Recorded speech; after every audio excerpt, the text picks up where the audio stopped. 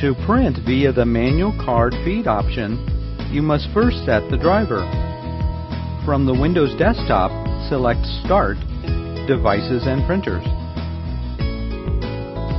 Right-click on the ZXP Series 3 card printer icon and then select the Printing Preferences menu item. On the Card Setup tab, Single Feed Options section, select the single feeder slot item and click the Apply button. Wait while the printer settings are applied. Click the OK button to close Printing Preferences. Then close the Devices and Printers window. First method for printing a card. From your card printer application, print a card.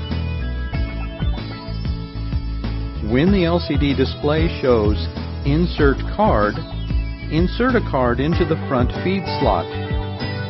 The card will be pulled into the printer.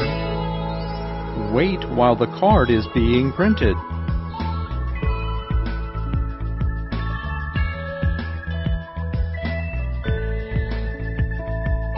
The card will be returned when printing is finished.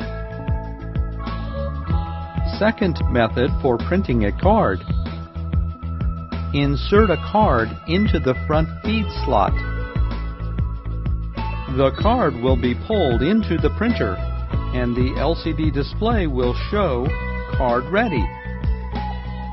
From your card printer application, print a card. Wait while the card is being printed.